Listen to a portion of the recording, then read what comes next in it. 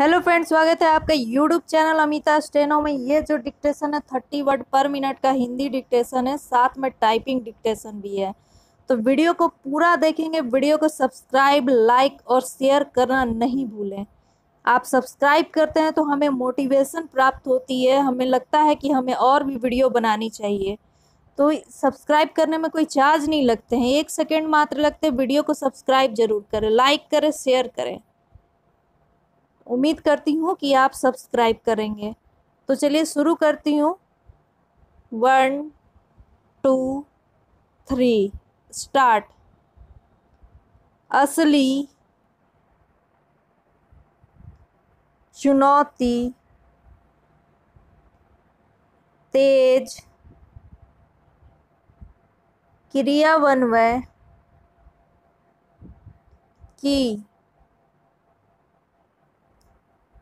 पिछले साल के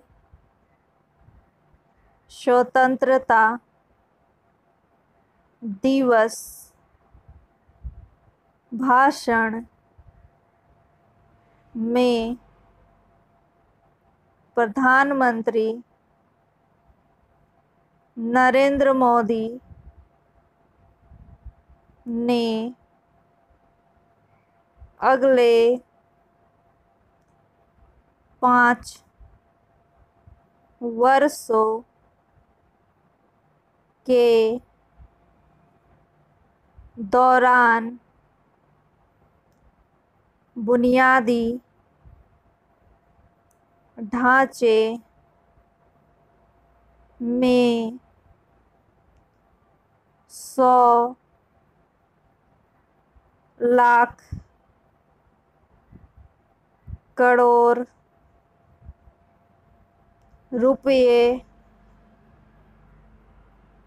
का निवेश करने का इरादा जताया। वर्तमान कीमतों पर यह भारत के सांकेतिक जीडीपी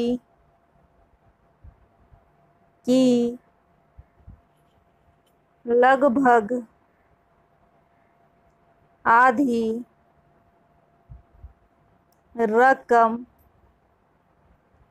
है। इस तरह इस महत्वाकांक्षा को साकार करने हेतु बुनियादी ढांचे पर प्रति वर्ष जीडीपी का दस प्रतिशत खर्च करना होगा। भारत में पिछले एक दशक से इस बड़े लक्ष्य को हासिल करने की कोशिश जारी है क्योंकि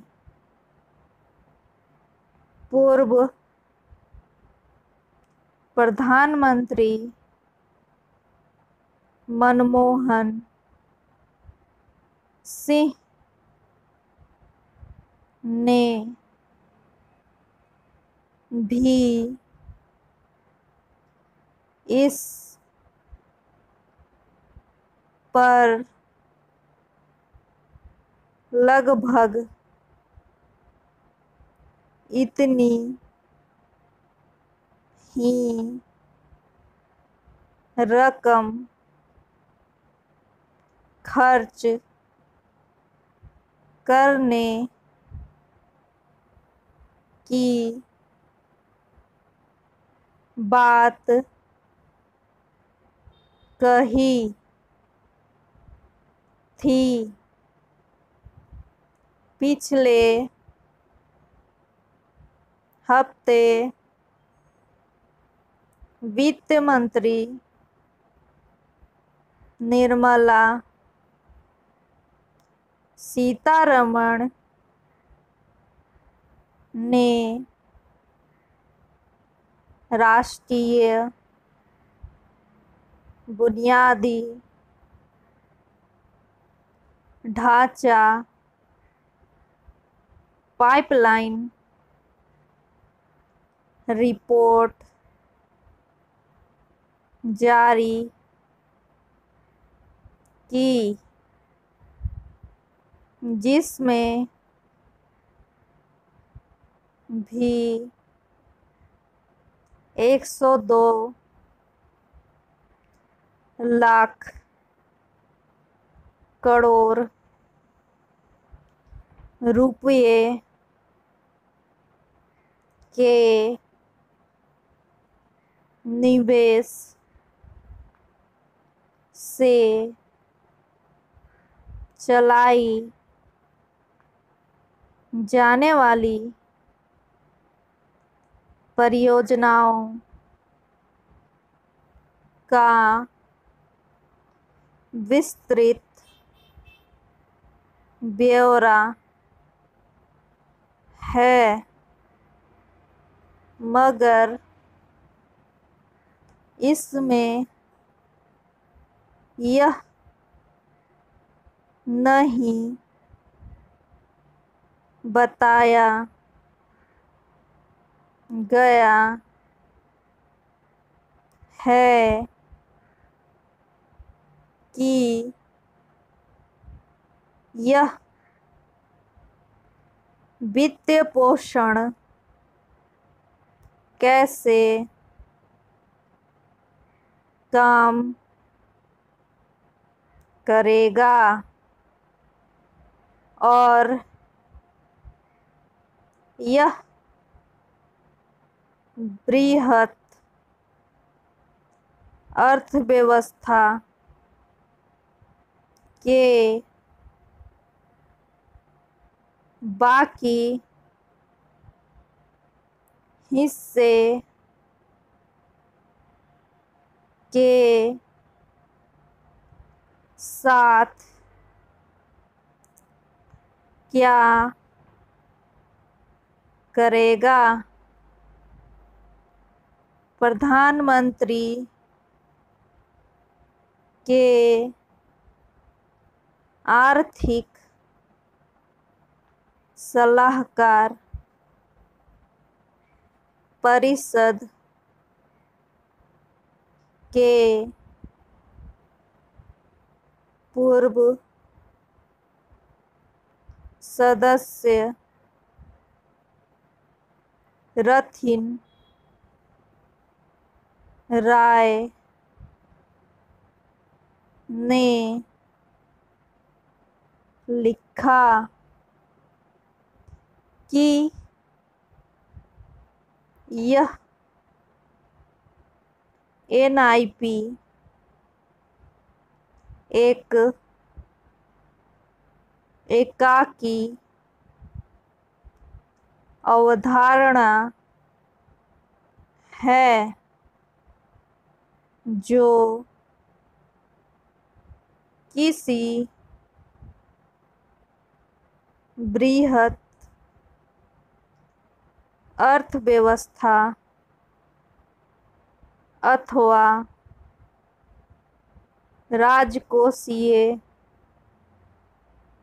ढांचे में जुड़ी नहीं है। पैराग्राफ। हम जीडीपी के एक उल्लेखनीय हिस्से को बुनियादी ढांचे के लिए सुरक्षित करने की चर्चा कर रहे हैं। इसीलिए एनआईपी अर्थव्यवस्था पर क्या? असर डालेगी और खुद भी उससे कितना प्रभावित होगी। इस पर विचार ज़रूरी है। वित्त मंत्री ने बताया कि एनआईपी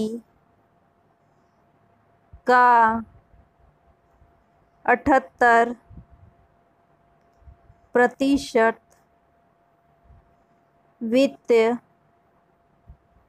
सार्वजनिक क्षेत्र द्वारा वहन किया जाएगा। रथिन राय इससे पहली तीन पंचवर्षीय योजना और उसके संचालन में अब खत्म कर दिए गए। योजना आयोग की सत्ता का संदर्भ लेते हुए नेहरूवादी महत्वाकांक्षा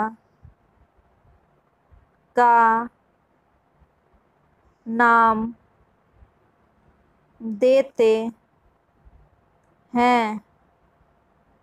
तब नेहरू के मुख्य विश्वास पात्रों में एक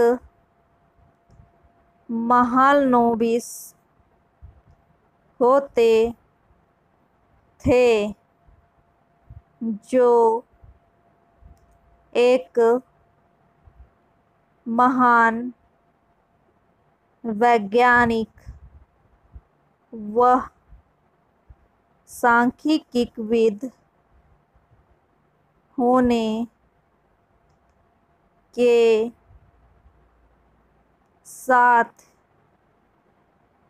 ही योजना आयोग के सदस्य भी थे। वे द्वितीय पंचवर्षीय योजना के एक मुख्य सिरजनहार थे जो देश के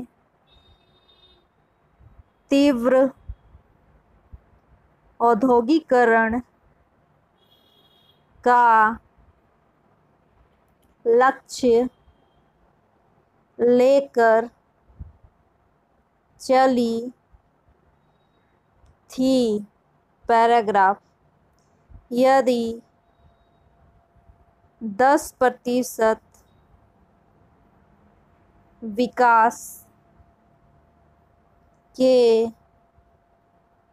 लक्ष्य को लेकर चला जाए तो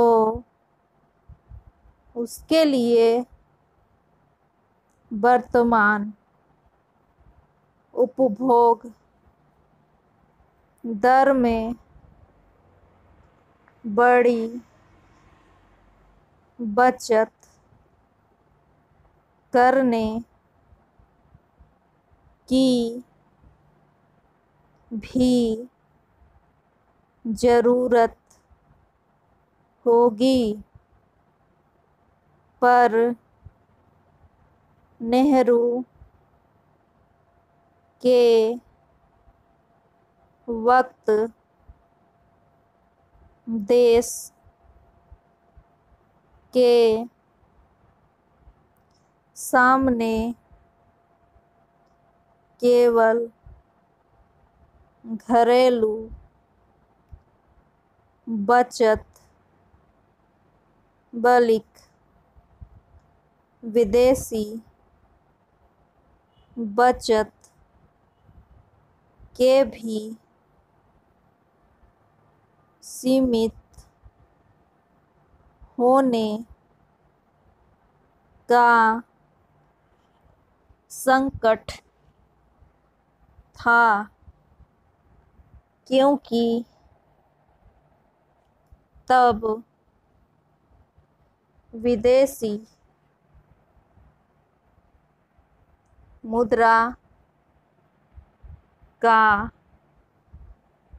घोर संकट रहा करता था। देश खदानों के मामले में भी आत्मनिर्भर नहीं था। इस तरह हमें अपने सीमित साधनों के अंतर्गत ही सबसे अधिक प्रभावोत्पादक कामयाबी हासिल करने की चुनौती से दो चार होना था। इससे नेहरू अत्यंत असंतुष्ट थे क्योंकि उन्हें सीमित होकर सोचने से नफरत थी। भारत क्यों नहीं ऊँची बचत ऊँची निवेश यो ऊँचे खाद्यान्न उत्पादन का देश बन सकता मोटे तौर पर यही नेहरूवादी महत्वाकांक्षी थी। बाकी अर्थव्यवस्था तथा यहाँ तक कि राजकोषीय स्थिति द्वारा पेश सीमाओं की अनदेखी करते हुए बुनियादी ढांचे में अगले पाँच वर्षों दस प्रतिशत निवेश करना नेहरू का वही तरीका है। आप उस पर अवास्तविक होने की तोहमत तो लगा सकते हैं पर महत्वाकांक्षा के अभाव की नहीं। मेरी समझ से रथिन राय की टिप्पणी इस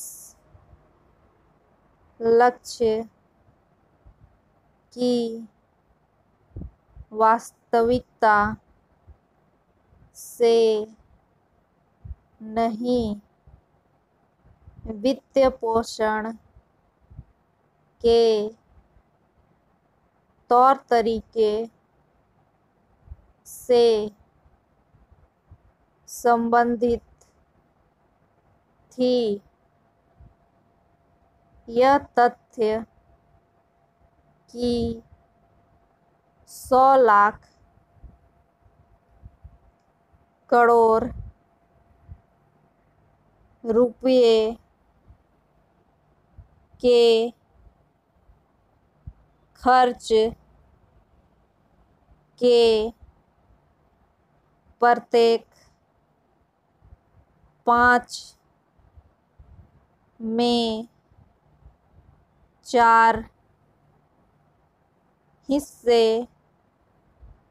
सार्वजनिक क्षेत्र से आना है। हैरान नहीं करता चाहे वह सड़कें हो या बिजली आवासन पेयजल या स्वास्थ्य यों शिक्षा सरीखे सामाजिक बुनियादी ढांचा उसमें सार्वजनिक भलाई का तत्व रहता है। दूसरे परियोजनाओं के क्रियान्वयन में इतना वक्त लग जाता है जिसके लिए राज़ी होना किसी निजी निवेश के लिए कठिन है। इसलिए निजी क्षेत्र से यह उम्मीद करना कि वह इस भारी निवेश का वित्त पोषण करे। समस्या मूलक ही होगा। तो फ्रेंड्स, ये थे थर्टी वर्ड पर मिनट का टाइपिंग डिक्टेशन, साथ में स्टेनो डिक्टेशन। तो उम्मीद करती हूँ आपको काफ़ी पसंद आए होंगे। तो वीडियो को लाइक, सब्सक्राइब, शेयर ज़रूर करें। मिलती हूँ नेक्स्ट नए वीडियो में, तब तक के लिए धन्यवाद।